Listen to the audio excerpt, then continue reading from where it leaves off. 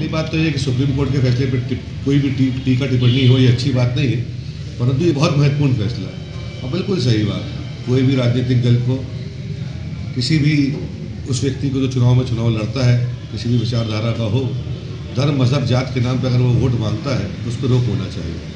Supreme court ने बहुत अच्छा निर्णय लिया है, और मैं ऐसा मानता हूँ कि नेताओं को धर्म, मज़हब के अलावा और बहुत सारे ऐसी चीज़ें हैं जिनके बारे में सोचना चाहिए। सुप्रीम कोर्ट ने जो फैसला लिया है कि जन्म धर्म जाति भाषा या के आधार पर वोट लेना गलत है, मैं इसका पूरी तरह पूरी तरह से समर्थन करती हूँ और तहे दिल से स्वागत करती हूँ इस फैसले का। हम किसको वोट दे रहे हैं, ये उस व्यक्ति पर निर्भर होना चाहिए, ना कि उसकी जाति पर। व्यक्ति विशेष कैसा है, हमारा जनप्रतिनिधि जो होने वाला है, वो इस लायक है या नहीं है, उसकी क्या क्वालिफिकेशन है, वो कितना पढ़ा लिखा है, वो किस व्यक्तित्व का धनी है हम सभी को इस फैसले का स्वागत करना चाहिए, सम्मान करना चाहिए। सर्वोच्च न्यायालय का जो निर्णय है कि धर्म जाति के आधार पर वोट नहीं मांगने जाना चाहिए गैर कानूनी है। मैं इस बात का पूर्णतः समर्थन करता हूँ। कानून तो है ही, सही बात है। उसके अलावा भी आप देखें कि आज जो देश में स्थितियाँ हैं, जो मध्य प्रदेश में स्थितियाँ हैं, जो जबलपुर शहर संस्कार धनी में स्थितियाँ हैं, धर्म के आधार पर अगर आप वोट मांगते हैं तो कहीं ना कहीं आप समाज का बहुत बड़ा अहित करते हैं।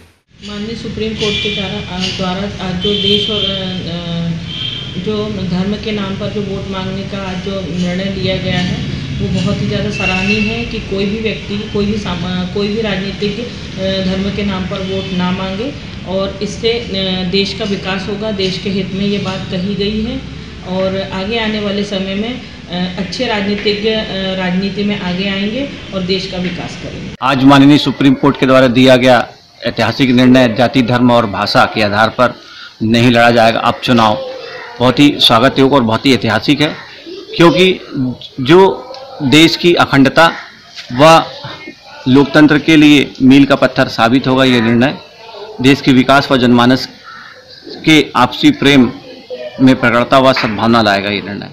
तो न्यायालय द्वारा पारित आदेश स्वागत योग्य है। निर्णय में संविधान के अनुरूप है। यदि प्रस्तावना को देखें, जिसमें स्पष्ट उल्लेख है, समाजवादी एवं पंथ निरपेक्ष पंथ निरपेक्ष तात्पर्य है, धर्म को पालन की स्वतंत्रता अवश्य है और धर्म को वोट मांगने का साधन कतई नहीं बनाना चाहिए।